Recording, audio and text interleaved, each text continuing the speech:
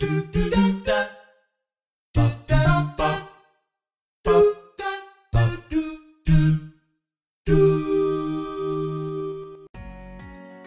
んにちはミルキーの庭です。いつもご覧くださりありがとうございます。今回は鉢植えバラの植え替えの動画になります。私は10号鉢までは毎年植え替えをやってます。1年間栽培していれば土も劣化しますし根の状態も心配です。新しい土を入れることによって元気に育ってくれると思います。今回は通常の植え替えと初めて試す10号鉢の土の入れ替えをご紹介します。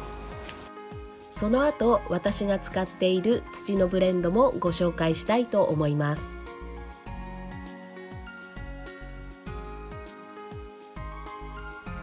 こちらポールセンローズセゴビアです。西日がガンガン当たるちょっと厳しい環境で育てています。植え替えと剪定はどちらが先かというのがありますが私は作業のしやすさで先に剪定を行います。休眠期であればどちらが先でも構いませんし植え替えと剪定の日にちが空いても大丈夫です。作業の時期は住んでいる地域によって変わると思いますが新芽が動き出す約1ヶ月前には終えた方が良いと思います。ミルキーの庭は北陸なので毎年雪の状態が読めません。なので12月半ばぐらい雪が積もる前に終えるようにしています。それでは植え替えていきます。まずは鉢から出します。鉢底石と鉢は軽く洗ってきます。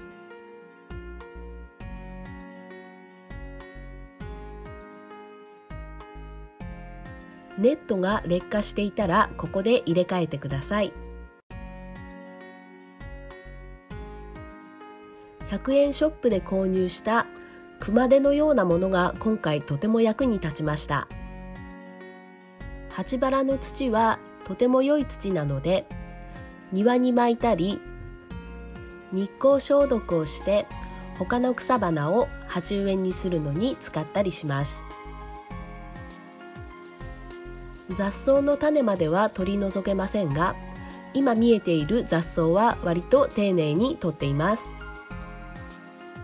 どのくらいの土を落とすかなんですがまず、えー、私がやっているように雑草が生えているところ肩の部分は必ず落とします。私は半分くらいが新しい土になるような感じで根を整理していきます。初心者の頃に読んだ本には土を全部落として根洗いするというのが書いてあってさすがにそれは無理だなと思いました。細い繊維のような根は切っても大丈夫です。それより太いごぼう根と言われるものも長ければ切っても大丈夫です。では新しい土で植えていきます。もしシュートが偏っていたら方向を見ながらバランスよく植えてください。棒などでつつきながら根の間にしっかり土が入るようにします。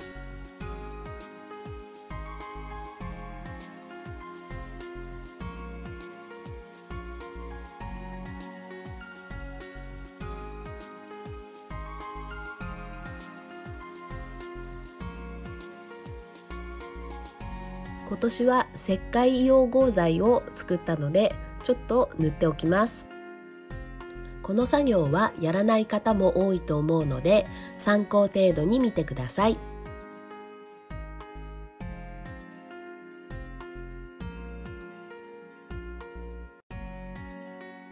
こちらはアルフレッド・コロンブです。10号鉢から12号鉢へ鉢増しを予定してたのですが鉢から抜いてみたら大トラブル。根鉢がなかったです。焦ってコガネムシの幼虫を探しました。9月にオルトランを入れたので多分その時に駆除できたとは思いますがその前にきっと根を食べられたのだと思います。こんな時は根を切らず病気や虫などがいないかチェックして植え直します。この根の分量からいけば8号鉢でもいいくらいなんですがこれはつるバラのため、えー、同じ10号鉢に入れます。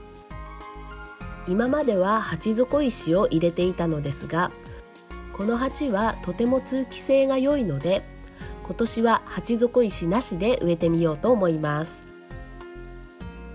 剪定は誘引する位置に置いてからやろうと思っています。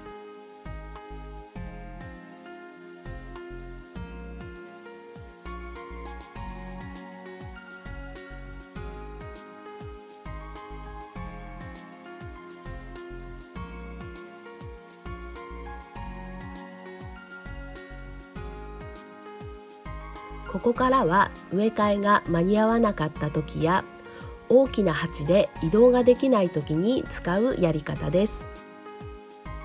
まずは剪定をして作業をしやすくします。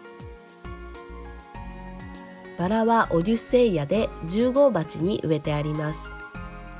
2021年の豪雪でかなりやられた株です。その時傷ついた枝は一応残してあったのですが今回結構落とす羽目になりました。これは山菜を掘る時のナイフです。根を切りながら土をかき出します。3分の1ぐらい土を入れ替えるつもりでやってます。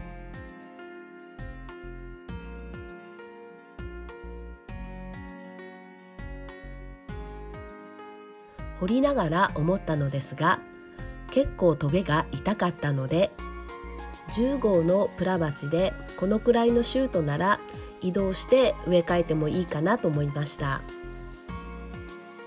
その日の天候や鉢の置いてある場所によっても変わりますよね。意外と時間がかかっているのと根の状態がチェックできないというのがデメリットかな。今回は10号鉢の土の入れ替え実験なのでこのまま様子を見ていきます。土は先ほどと同じものです。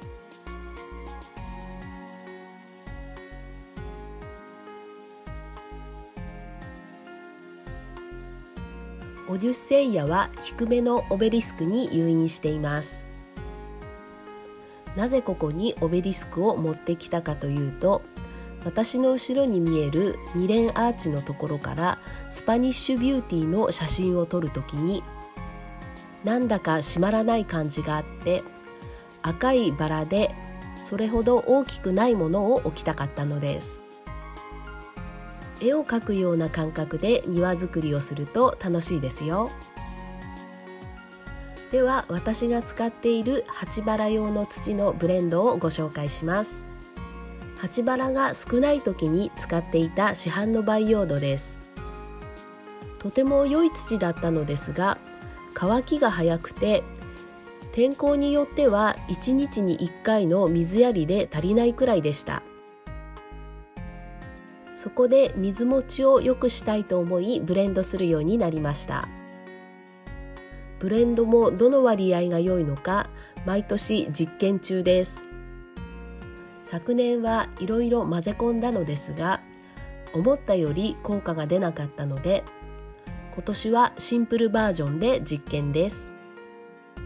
赤玉土の小粒これを1袋入れます。硬質赤玉土ならなお良いです。次に発酵牛糞堆肥。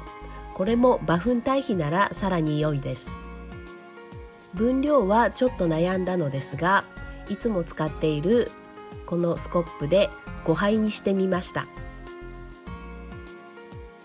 古い同士熟成腐葉土。これも5杯入れてみました。あとクタンを2杯これでよく混ぜます。植物を植える時の土の配合割合ですが土と有機物が7対3や6対4が多いですよね。混ぜてるうちに色がちょっと黒っぽいなとかもう少しゴロッとさせたいなというふうに思ってきました。そこで赤玉土中粒の登場です。半分ぐらい入れることにしました。